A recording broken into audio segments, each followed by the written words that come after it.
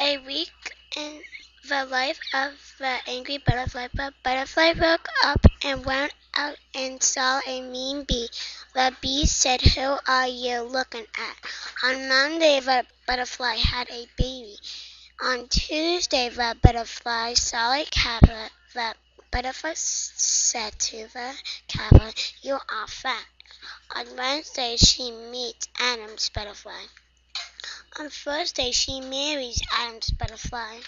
Friday she went on a date. Saturday she went talking to her husband. The next day was Sunday again, and she went to sleep. Then she found a mate.